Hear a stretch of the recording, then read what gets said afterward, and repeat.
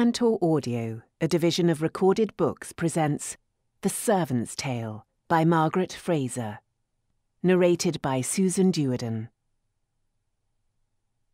Chapter 1 The house sat on the muddy track beyond the village church, drawn back with its two neighbours from Prior Byfield's single broad street. Like the other village houses, it was framed in heavy, square cut timbers, roofed with thatch walled with wattle and daub thinly plastered. The door sill of its single door sat nearly flush to the ground, with a single slab of stone in front of it against the wear of feet and coming dirt. Meg's first task every morning since she had come as Barnaby's bride had been to scrub or broom the sill and stone. It hurt now to see them scabbed with mud and realise she was simply too tired to bother. Instead, she stood in the doorway, staring into the inner shadows, waiting for her eyes to grow used to it, glad for just this small respite from doing. It was Christmas tide, and cold, with a damp, spoiled blackness that sank into the bones. In a few days, it would be New Year's 1434, though some said the year did not begin until March, and some few others that it began with the winter solstice just past. At any rate, it was the tenth year of King Henry VI, not that it really mattered to her. One year and then another, and each worse than the one before, no matter what she did or how hard she tried. So what was the use of trying? But despair was a sin, Father Henry had said at the harvest sermon. There had been reason enough to talk of despair then, considering how bitterly bad the harvest had been and the prospect of a hungry winter before them. Now she stood in her cottage doorway, and despite Father Henry, yielded just a little to despair, notwithstanding the gleaming penny hidden in one fist. She worked at the priory whenever she could, and these past two days, while Domina Edith had been ill in bed, Meg had simply stayed, sleeping with the regular servants on a straw pallet on the kitchen floor. It had helped that Barnaby had been gone three days. She had felt safe in trusting Sim and Hugh to see to things at home. They were, after all, sixteen and thirteen, and forever telling her how near they were to being men. But not near enough, it seemed. Her nose had told her that, even before she could see in the cottage's gloom. Two days, the longest she had ever spent away at one time since she had been married. Coming past the church, she had seen her home with new eyes seen how its thatch had gone dark with age and rot, and sagged sway backed on its ridgepole, and the plaster, meant to keep the walls from decaying in the weather, was crumbled away in ragged patches, leaving the daub bare to the rain. The cowshed, not that there were any cattle to keep in it any more, slumped drunkenly against the far end of the cottage. Losing the cattle had been the greatest disaster. Barnaby had sold the cow a year ago, and last autumn the ox. He'd been half drunk each time and gotten the worst of both bargains. Without the ox, he was no longer a member of the village plough team, which meant he could not keep up the day work he owed the Lord in return for the field strips and cottage. Meg had gone to Father Clement once, after the third of her babies died, grieving over it and Barnaby's drinking. He had told her to pray for every trial that came to her was by God's will, and if she endured her earthly troubles patiently, she would sooner come through purgatory's pains to eternal joy in heaven. But Father Clement was dead this year past, doubtless enduring his own pains in purgatory, while things had gone slowly, steadily worse. And just now, under the grey, heavy sky, faced with her unkept house and shiftless sons, Heaven seemed very far off, and despair very near. But that made it no less a sin, and signing herself in half felt penitence, Meg went inside. The cottage's single door led into the cottage's single room. To Meg's right were the animals, the milch goat and the dozen chickens, kept in the cottage for warmth and safety. To her left was the house's larger part, with a stone circled hearth in the middle of the floor and what she had for furnishings the bench and two stools, the table, chest, and bed, the few pots and bowls. There should have been some warmth to the hearth, a faint glow of well banked coals, but it was as dark as all the rest. Meg went and stooped beside it, but not to build a fire. She lifted a rock from the circle, one not marked in any way different from its brothers, and probed in the soft earth beneath it, found a tiny clay pot stopped with a wad of rag, lifted it out, pulled out the rag, and put the penny in. It fell with a chink that showed it was not alone in there, though there were not many to greet it. She replaced the rag, and then the pot, and then the rock, pressing the earth around it with her fingers. Only then did Meg go to the window and slide down the shutter. Daylight made sadly more clear how much her sons had left undone. Grimly, for anger at the failure of one's children was allowed, and good if it led to correcting them, Meg set to what needed doing. The animals, Nankin and the chickens first, they needed feeding and their stinking waste removed. Nankin was dry at present, but spring would come again and there would be yet another kid for the pot and milk for the summer. Nankin had been faithful at that for a good many years, but she was old, and Meg doubted there were going to be many more summers for her. This spring, if the kid were female, it would be time for Nankin to go into the pot. But what if they had waited too long? What if there were no kid? Meg worried about that as she went from nest to nest, looking for an egg and finding none. The hens laid less often in the winter, and even less when they were not properly fed or kept warm. There had been times when they gave an egg or two a week in the winter, but all this December there had been only three. But what better could be expected? She should not go to the Priory, or else should not stay overnight, even when she had the chance. But she must have the money her work brought, little though it was. With one thing and another, Barnaby's quarrelsomeness, and his drinking, and his selling the ox, scanting what work he was given in its place, letting his holding and his strips in the fields decay, he was out of favour with Lord Lovell's steward. It was almost a surprise that he had been entrusted with the task of finding a cart and horse and getting himself to Oxford to pick up a wine tun and deliver it to Lord Lovell's manor for the Christmas feasting. It would hardly put a patch on how much he owed, but done well and timely, it was a start. Meg would be satisfied if he did the task as ordered and brought back the cart and horse unscathed. They had had to borrow them from Gilby Dunn, and ungracious he had been about it though he was their near neighbour and as bound to the Lord's service as they were. He was the sort who would be quick to make claim for damages if the horse came home lame or the cart even slightly hurt. Worry over that, and worry over whether Barnaby might have found a way to get drunk while he was gone, were mixed with her wondering when he would be back. Had he been gone too long? She knew less than he did about the world beyond the fields and pastures that were Prior Byfield's boundaries and had no way to judge how long he should be gone or when he should return. But fretting over Barnaby didn't set the house to rights. By some oversight, there was enough water in one of the buckets by the door to give Nankin and the chickens a drink. And deep in the ashes on the hearth, she found a tiny spark of live coal to be teased to life with careful blowing and a bit of dried grass, then nursed into a proper fire to set the cold back a little while she went to the village well for water, her two buckets hanging from her neck yoke. When she came back, she set a pot to boil while she scrubbed at the dried oatmeal on the table. The table was the one good piece of furniture she had. Its thick, smooth boards sat on sturdy trestle legs that had a finely detailed pattern of vines and leaves carved into their flat sides. When Sim and then Hugh had been small, she had used to sit on the dirt floor with them, tracing their fingers along the patterns and telling them stories of what a fine house the table must have come from. She had never been in a fine house, but there had been the chair and chalice and embroidered cope in the village church, and the Lovells had once ridden down the village street with hawks on their hands and their clothing gay with gems and embroidery.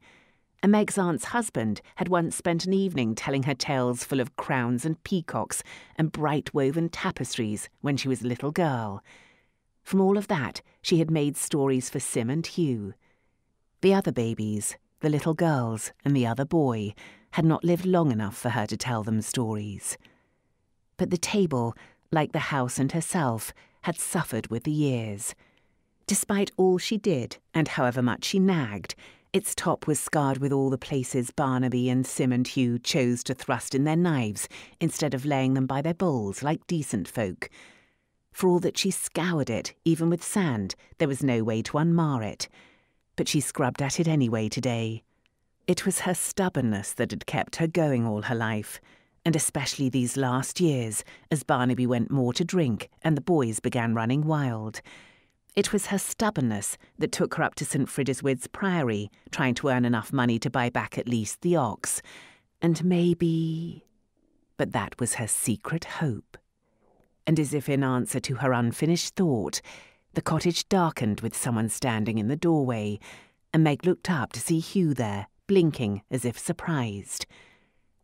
There had been a baby born after him, but it had died, and so he was her last chick her baby, the one she was most careful of. It was a little disconcerting to see, when the light was angled just so along his cheek, the beginning of beard touching it with gold. He was fair haired, slender, and fine boned, but no longer boyish. His manhood was coming soon. At thirteen, there was not much time left to save him from being no more than his father and brother were, and Meg said harshly, So you've come home at last? And where's your brother? Not working, surely? Hugh shrugged, careless, and sprawled across the bench. It's Christmas tide, and God set aside twelve days not to work. So what's the to do, ma'am? We're excused only from the labour old Lord Lovell. Our own work needs doing, and you've been a slacker. She pointed sharply at the goat and chickens at the room's other end. Hugh sniffed and shrugged again. It smells good enough to me. You've been too much with the nuns, ma'am. It's made you finicky. There's muck from two days under their feet, and I want it out of here. And so do you, if you've any thought of eating anything before I leave again, she added, forestalling whatever reply he was about to make. I muck out, or I cook, she continued. I don't do both, and I won't cook in a house that smells of muck. Well, at least can it be warmer in here? There's almost no fire, and I'm near clemmed. There's the last of the wood already on the fire, and you can fetch more if you'd be warmer. That's Sim's task, not mine. And where's Sim to do it? Most of the things I do is someone else's task, or ought to be. Get on with you. The mucking first. I want to see it done before I go. You're going back again? What so needs doing there? You'd leave us to be dark and hungry. It's not what needs doing, it's the halfpenny they pay me for doing it. You know what I want that for. Oh, ma'am, I've no call in my heart to the priesthood. I've told you that and told you that. Better you stay here and keep us happy, and take what you've saved and buy the steward off Dad's neck. That'd be more to the point. It was a familiar whine. It was what they all said, but Meg knew they were wrong. Years ago, she had sent Hugh to Father Clement to learn his letters. At first, proud to be singled out, he had tried hard and learned with an ease that only confirmed her instincts. And it wasn't mere cleverness. Though he did it but to plague the priest, he asked Father Clement questions about his catechism that had left the poor old man groping in confusion. More than that, Hugh could figure such things as how many fourpence in three dozen pennies without resorting to his fingers, while all Meg knew of sums was the old joke that two stewards and an executor made three thieves. Yes, Hugh would be a priest if she could earn the money to buy his freedom from villanage, and she said sharply, My money is not for your da. He makes his own bad luck, does Barnaby, and your brother takes after him. But there's no reason you have to live like a beast, too, if I can buy you clear. Now see to that mucking, so I can be on with my own business here. He made a rude sound under his breath, but went to the other end of the cottage. Meg did not care what he said, so long as he obeyed. She squatted by the fire to clean the bowls and spoons, and then the pot with the water it had been heating. The bowls and spoons she set on the table, the pot she emptied out and filled with clean water and put to boil. She set beside the hearth the sack of oatmeal that would be supper. She would have stirred an egg into the stuff if there had been any, but there was not. Still, With an edge of pride, she took a little napkin wrapped bundle from her apron pocket and put it on the table. Hugh, who could fail to see a piece of work that needed doing, even if it was sitting under his nose, looked up from the last of the chicken muck and said, What's that then, ma'am? A something from the Priory. They said I could have it for a Christmas treat, but I brought it home for you. Finish your chores and wash yourself, and I'll show it to you. But you must wait for the oatmeal before you taste it. For once, he washed without complaint. She had often spoken to him of the fine things they ate at the Priory, but this was the first time she had actually brought something home. The low overcast had thinned to westward by the time she called him to the table. Weak, orange tinged light slanted through the slatted window to lie in stripes across the cottage floor. It had little warmth, but its light was welcome, and as Hugh bent forward to look at the napkin, the sunlight caught and burnished his pale hair to gold. Meg tucked her rough hands under her apron to keep from stroking it, knowing how much he hated any gesture of affection any more, being too old to want his mother's and too young yet to seek another woman's. So, open it, she said. It's all for you. At her word, he pulled the napkin open eagerly, and she laughed aloud to see the wondering wariness on his face as he stared at what was in front of him. It's seed cake, she said triumphantly. You won't find the like of that outside of a lord's hall or a monastery. She watched him sniff it while she held her own breath. He would like it surely, sweet to the taste, and then she could point out it was the sort of thing he would have in plenty if he but pried himself out of the village and into the priesthood. But as she watched him, the wonder on his face suddenly meant nearly as much to her, and she said with fond laughter, Go on then, eat it. Your oatmeal will keep. If he ate it now, she would not have to make him share it with his brother, and that would save a quarrel. Unexpectedly, Hugh looked up at her. He had the cake in his hand, ready to taste, but he held it toward her instead, and asked, Share it with you, ma'am. A warmth that nearly brought her to tears spread up from Meg's breast, that he would think of her in the midst of his pleasure. Surely, surely he was meant for something better. She shook her head. I had a bite of one at the Priory. They've many of them, and other fine things. Things you wouldn't believe in the kitchen there. That one's all for you. Go on. He did not offer again. Though his first nibble was tentative, his second was not and after that he was all too clearly in a fight between prolonging the pleasure and wolfing the sweet richness down all at once. She went back to stirring the thickening porridge. That's the sort of thing the clever priest can get as often as he likes. Leave be, ma'am. And because she did not want to sour his pleasure, she said quickly, Aye, I'll let it go. And to distract his frown, I wonder where your father is. Somewhere close to here by now, probably. Or maybe singing his favourite song in the middle of the Great Hall if Lord Lovell gave Dar a cup of something when he arrived. She gestured sharply at him to hush, but the other hand slowed its stirring. The thought of Barnaby's drinking set her to worrying all over again. Barnaby drunk was even less able than Barnaby sober to cope with the hazards of travel in these winter days and for the first time the thought welled up that Barnaby might have gone so far as to broach the tun of wine before he delivered it. To come into the mercy of an already angry lord was almost past imagining. Maybe he had got drunk less dishonestly, and must needs stop to sleep it off under the cart, and be freezing to death this minute somewhere along the road. Which would be worse, she wondered, to have a husband in danger of being hanged by his lord for theft, or to lose him to a natural death. It was a hard thing to be deprived of a husband before his sons were grown enough to care for his widow, even if she did not believe any more that the next fine or beating he would receive might finally bring him to give up drink. She quickly prayed he was alive, and that by some wonder he had stayed sober. Hugh, the oatmeal's nearly done. Run quick and fetch some firewood before you eat. He rose with a sigh, but stopped at hearing his mother's name being called outside. Meg! Meg, are you home?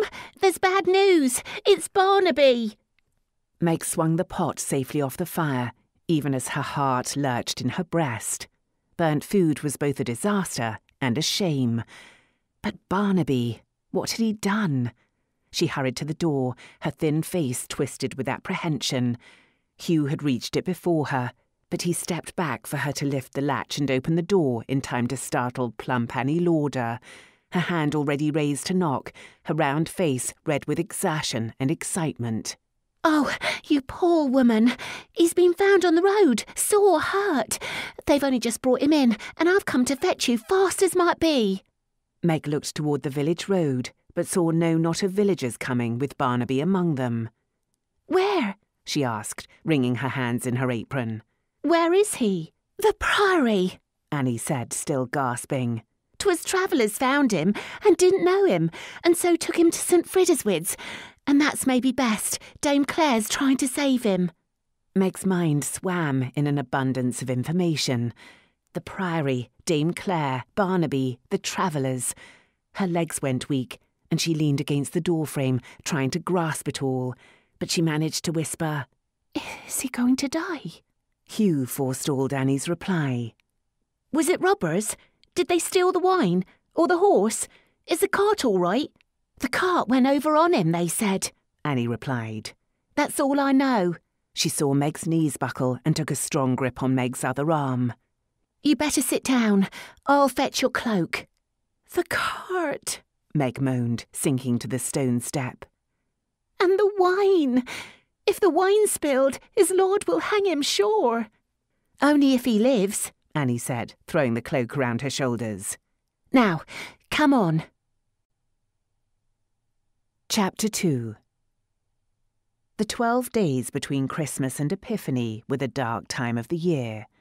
Holidays in the cold kept folk at their own hearths, and casual travellers were few.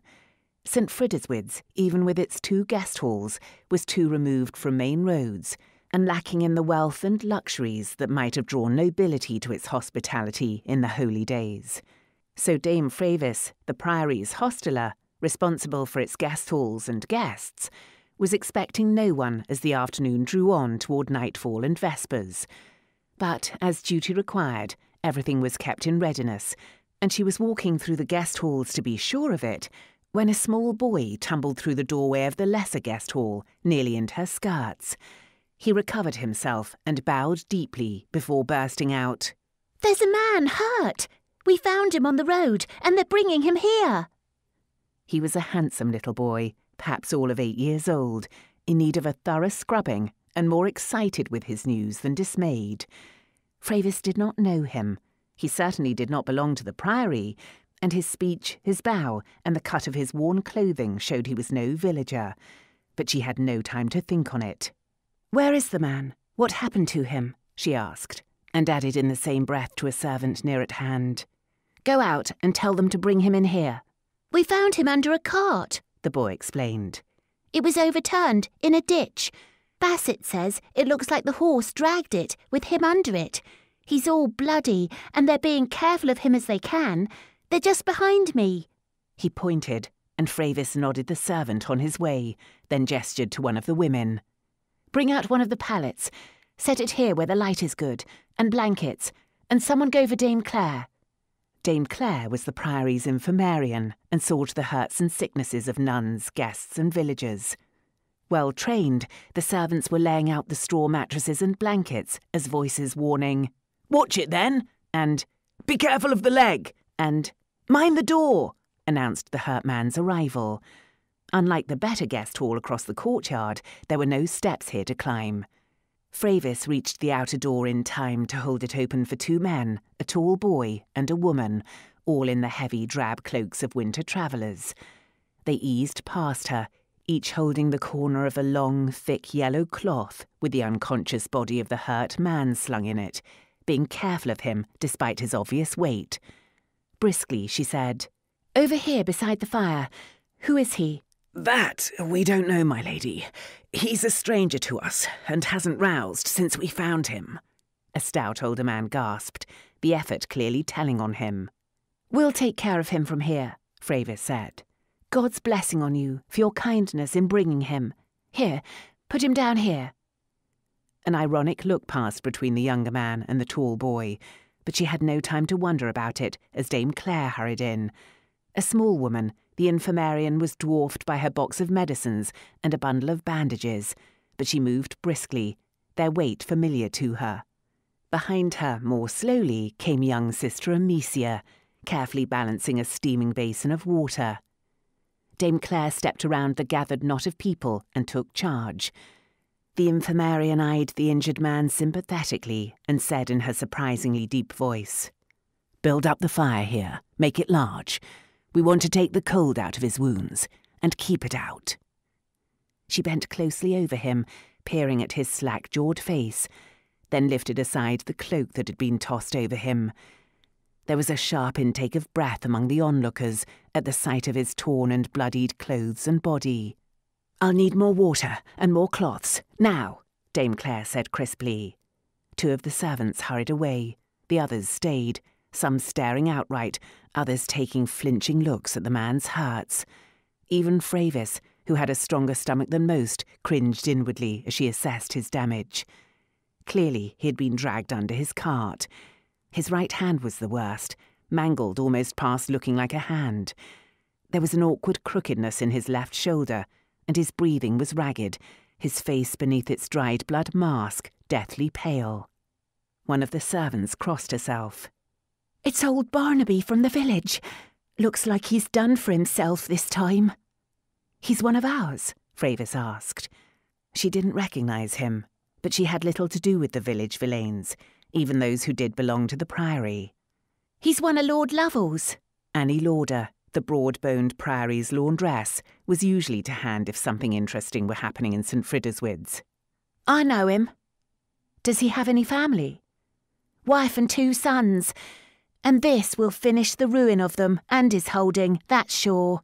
Annie's voice held the assurance of someone who had often said it would happen. What he's surely made is a ruin of himself. Dame Clare was cutting away the strips of bloody cloth with a slim knife. Now, seeing more of his hurts, she said, Mercy, his ribs. Someone had best fetch his wife. I'll go, Annie Lauder said. I know their cottage. With a bustle of importance and elbows, she pushed her way out from among the cluster of people and was gone. Who's building up my fire? Dame Clare demanded, not looking up. Frevisse, knowing the man was entirely Dame Clare's responsibility and that her own duty was simply to serve her, said, Jack's here with more wood. Frevisse gestured the man forward.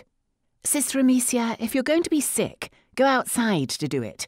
And so long as you're going, fetch more bandages. Frevisse had no sympathy with Sister Amicia's stomach.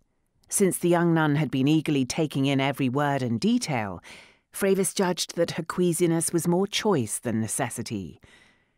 The travellers who had brought the man stood clustered near the other hearth at the hall's far end, where a priory servant was building a fire for them.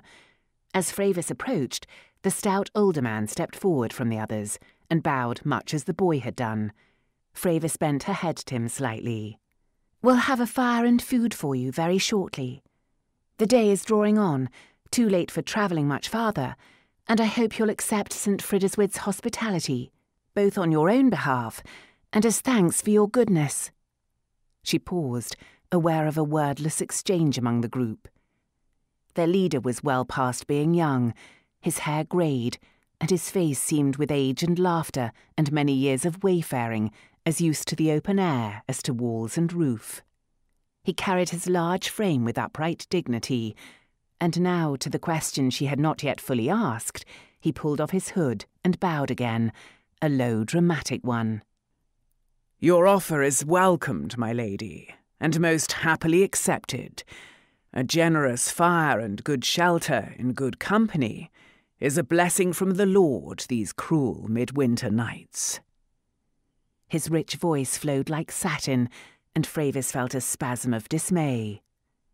You, she said, almost accusingly, are not simply travellers. No, good lady. We're players, on our way from one place to another. Thomas Bassett is my name, and this is my company. And though you've offered to us your hospitality, we'll go on our way if you say the word. He knew, far better than she did, how unwelcome his kind could be. Wayfaring players were travellers of no fixed place or lord, belonging nowhere, always strangers, and met always with suspicion, too often well founded, since folk dependent on the tossed coins of other people frequently turned to thievery to augment their income. Frevisse's hesitation was barely momentary before she said, You have done a man a service that may save his life. I have offered St. Frideswide's hospitality to you, and as you say, midwinter nights are cruel. It would be ungrateful and unchristian of me to take back my offer. I pray you, be at ease, and take what comfort we can give this night. She felt tension flow out of the little band at her words. They had been braced to be sent on their way, and were greatly thankful for being allowed to stay. She doubted they would give trouble for whatever little while they were there. You have a cart and horse that needs seeing to? she asked. Tisby, our horse, follows to heel like a dog, and should be waiting in your courtyard now, and our cart behind her.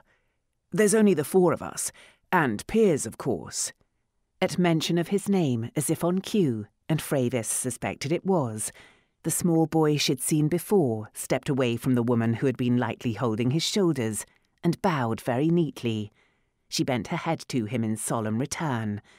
His sweet faced charm had probably wooed goodly pence from doting women on more than a few occasions, Frevisse thought, and hid her own amusement behind an unsmiling face. The flaxen haired player, whom Frevisse had taken for a tall boy, said, I'll see to Tisby in the cart and bring in what we need for tonight. Now, as soon as he spoke, and she looked directly at him, she realized he was full twenty years old or more. Not a boy at all, despite his slender, lean hipped build and smooth face. Since his hair was so pale, his beard did not show unless it was looked for. Young Jolliffe, said Thomas Bassett by way of introduction who plays our women's roles. Meeting the young man's bold, assessing gaze, Frevisse was ready to believe that playing the woman was a skill in him, not a trait, and suspected that he probably wooed more than pence from women when he set his mind to it. With some asperity, she said, But you will play the gentleman here, I trust. Jolliffe made her an elegant bow. In such a holy place as this, humbled by your kindness, surely. Frevisse forbore saying that she had sincere doubts about his humility, and was spared any reply at all by a raw, strangled screech behind her, as if a cat had been tossed into the fire. She swung around. The clot of people still around Dame Clare and the man Barnaby had pulled back somewhat, making room for the newly arrived woman. She was small, no more than thin flesh sunk down onto small bones tanned and aged with years of weather and work. Frevisse had noticed her around the Priory these few months past, but from her poverty had thought her a widow. Now she stood huddled and aghast, her hands pressed over her mouth, and her eyes huge with fear and horror as she stared down at the hurt man, her husband. Dame Clare had had him moved onto the straw filled mattress and been cutting away at what was left of his clothing to assess his injuries. Except for a cloth draped modestly over his loins, there was nothing to hide his body's ruin. Unable to take her eyes from him, rocking back and forth, the woman began to keen. Oh God! Oh God! Oh God! Oh God! He'll never work again! He'll never work again! Look at him! Look at him! A whey faced boy, trying very hard not to look at the man, stood beside her. Awkwardly, he put an arm around her and said, Ma'am, ma'am, it's going to be all right. He'll heal fine, you'll see. But he did not believe it any more than she did. On Meg's other side, Annie Lauder made no pretence of her curiosity. Will he live at all? He looks like to die if you're asking me. There's no one asked you, said Dame Clare firmly.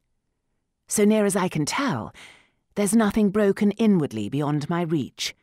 Nothing here that will surely kill him if I can keep sickness out of his hurts. His hand, Meg moaned. Holy Mary, Mother of God, look at his hand. It'll never heal. Look at it. Dame Clare ignored her. What I want is someone here to help me set his shoulder back in place. It's only twisted from its socket, not broken. That I can do, The third man among the players stepped forward. I've seen it done a few times and helped at it myself, but we'll need some strength beyond our own to hold him down. He was a handsome man, not tall, but boldly proportioned, with thick black hair and a self assured swagger. Dame Clare eyed him dispassionately, judging his usefulness, and said, Here then, best do it while he's still unconscious. Someone take the woman away, and the boy. This will not be pleasant to see. Chapter 3 The player had not boasted. Frevisse had seen joints reset before and knew it took as much strength as skill to put a shoulder back into its socket. The sinews that allowed a man to swing a scythe all morning or wrestle a plough along a furrow were equally able to resist the effort to slide bones back into their place. Insensible though he was, Barnaby groaned while two of the Priory men held him down, and the player pulled and twisted with seeming brutality at his arm, until at last there was the unmistakable snap of arm bone into shoulder joint. The men stood back, grinning at one another in shared triumph, and Barnaby subsided into low moaning. My thanks to you, Dame Clare said. Your name, that I may properly thank God who sent you to us when we were in need of you. The black haired man bowed to her. Ellis, my lady, he said. He returned to the others, still smiling. Dame Clare said to the gathered Gawkers, You can go back to your duties or your rest, except you and you and. Her gaze fell on Sister Amicia the same moment that Frevisse's did. Sister Amicia had come to St. Frideswide's because, after dowering her four older sisters, her father's purse had run thin and he had chosen to save the remainder and increase his reward in the hereafter by offering his last daughter to St. Frideswide's as a nun. A good daughter, she had done as bidden and taken the veil six years ago, but more than vows and veil were needed to make a nun of her. She was mostly obedient and devout at her prayers, but despite the rule, she was given to ribbons and other pretty things her sisters brought when they came visiting, and just now she was regarding Alice's retreating back with far too much awareness that he was a tall, well built, not unhandsome man. Sister Amicia, I think you can go back to the cloister now, sister, and see what we left undone in the infirmary. Dame Clare finished, matching Frevisse's own thought. Frevisse, as ready as Dame Clare to see to work, said, Annie, take that yellow cloth and set it to soak so you can scrub it clean come morning. We can do that much more for the folk who saved him. The rest of you about your business. See there's enough wood for both these fires, and bedding brought for our other guests. And someone tell his wife she can come back now. I'd best ask Dame Alice what food can be spared from the kitchen for our guests.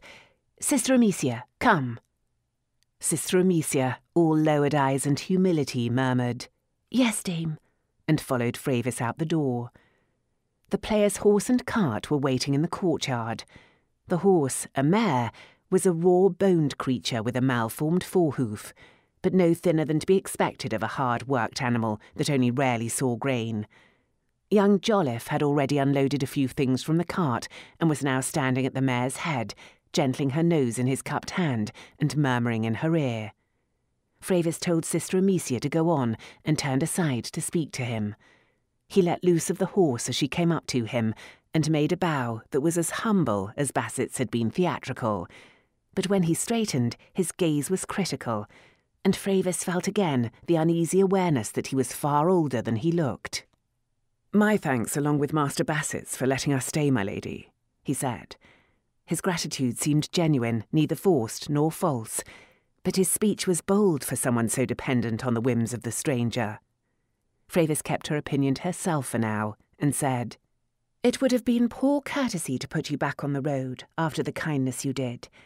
Stabling for your horse is back out through the gate to the outer yard, and to your left. Someone there will show you where to put your cart. Jolliffe began to lead Tisby forward and around, saying casually, Kindness is a rare commodity, true enough.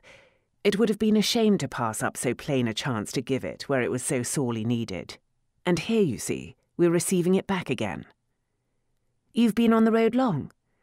Ensuring that the back of the cart would miss the wall as he turned, Jolliffe answered, Do you mean me, or all of us together?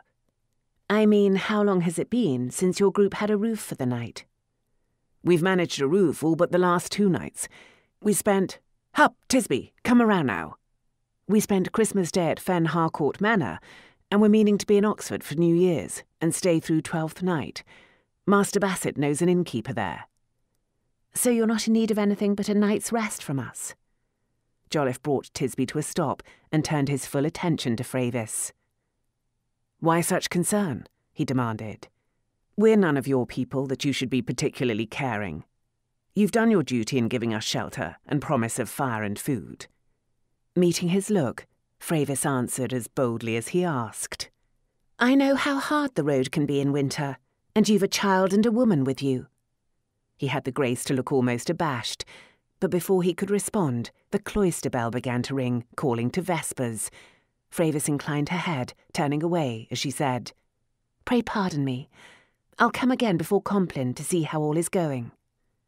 The Vespers service went its strong, graceful way, declaring the day's richness and hoping the blessings it had brought were unending. Et exultavit spiritus meus in Deo, salutari meo. My spirit has found joy in God, who is my Saviour, because he has looked graciously upon the lowliness of his handmaid. But its flow and beauty were severely marred in St. Frideswides by a general croak-throated snuffling among the nuns. The illness had begun before Christmas among the servants, had spread to the nuns, and had not yet run its course, though Dame Clare, busy with poultices and herb brews, assured them it would. The worst of Frevisse's own sore throat was gone, but she still made steady use of her handkerchief and lacked her usual energy. Like most of the others, she had to be careful of her singing that it did not turn to sudden croaking, and like them, she often failed. And today, unfortunately, Dame Clare was still with the injured man, so that her deep, rich voice, almost fully recovered from her own rheum, was not there to carry the others.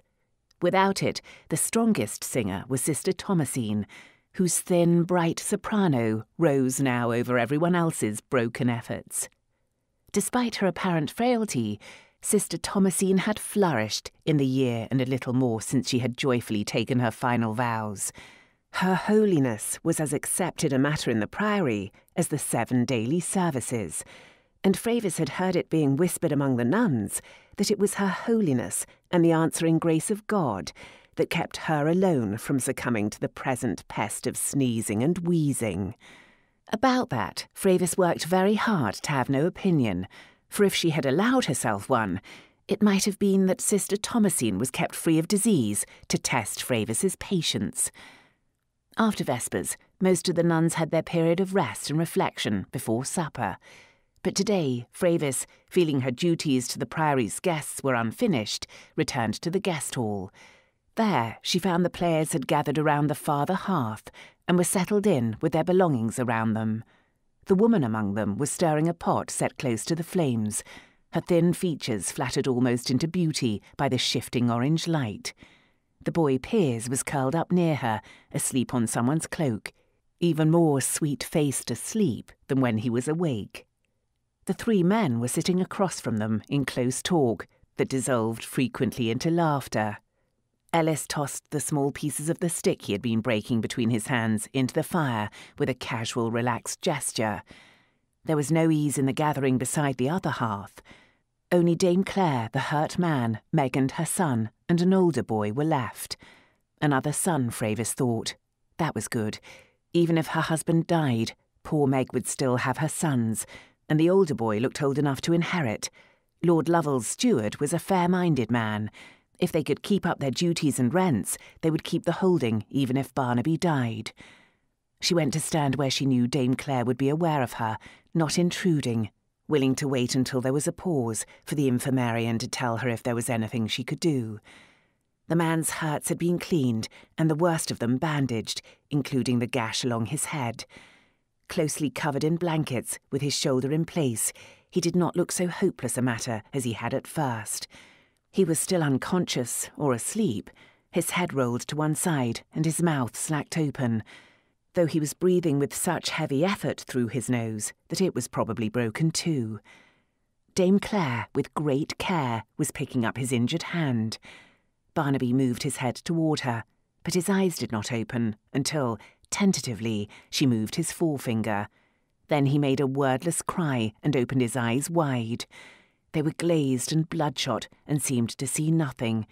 She let go of his finger and he subsided to silence, his eyes closing again. Please don't do that, whispered Meg hoarsely. It's no good. His hand's no good, and never will be any more. The first horror was gone from her now, if not the shock. She was sunk down on the floor on her husband's other side, one hand clenched into a fist and pressed between her meagre breasts, her other hand holding tightly to her younger son's arm as he sat leaning against her. Her strained, haunted eyes stared at the ruin of her husband's hand as Dame Clare gently put it down, and she did not seem to notice her older son, hunched down on his heels behind her, reaching out to rest a hand on her shoulder. As often is with brothers, the two boys were not much alike. The younger had his mother's small bones, the fair skin and blonde hair she might have had when she was young, though she was years past showing either of them now. The older boy was more like his father, tall and big in bone, with coarse dark hair, his boy's face already beginning to flesh out in what would be heavy jowled manhood, a manhood that was going to come on him sooner than it should have, even if his father lived. Now, ma'am, he said. Let her be. Maybe she can mend it. Nothing can mend him, Sim. Hush you, Meg said without emotion, not looking around at him. Dame Clare touched the first two fingers of the swollen hand laid on Barnaby's stomach. By some wonder, she said, these bones right here seem to be the only ones broken, but they're broken right back to his wrist, and they're not bones I can set, being so small and many jointed. All I can do is wrap his hand close to its proper shape and pray it mends so he can use it. He's going to live? asked the younger boy. I don't know. If he's taken hurt inside, if there's something broken where I can't tell, or he's bleeding where it doesn't show. She drew a deep breath and said more firmly, looking at Meg, We just won't know for a while, and a while yet. If he lasts the night and recovers his wits, then there's hope. Do you mean to stay here, or would you rather go home? Dame Frevisse or I will watch by him all night, if you would rather go home and rest. We'll watch by him, Meg said without hesitation. He's ours, and we'll keep the watch. Better there's faces he knows when he awakes, or when he goes, she added in a lowered voice, her gaze returning to his face. I'll see to their bedding, said Frevisse. Tell me what I should watch for, then go to your supper and Compline. I'll manage here. You haven't eaten either, Dame Clare said. I'll bring your supper, along with what he's going to need to cover the pain when he wakens. Meg stood up. I can fetch the lady's supper, by your leave, she said. I work in the kitchen and know my way. That's where I know you from, Dame Clare said. You brought the posset I wanted for Domina Edith when her cold was so bad two days ago. And I fixed it myself, Meg said, a little eagerly. It was excellent and served her well. Yes, bring Dame Frevisse's supper. I'll see to the medicine. Chapter 4 Meg made a low curtsy, glanced at the boys in silent warning to stay where they were and not make noise or mischief, then hurried away. She left the guest hall for the cold darkness of the courtyard crossed it quickly, and let herself into the cloister by the nun's door. It was not the way she usually came in. We hope you enjoyed this preview. To continue listening to this audiobook on Google Play Books, use the link in the video description.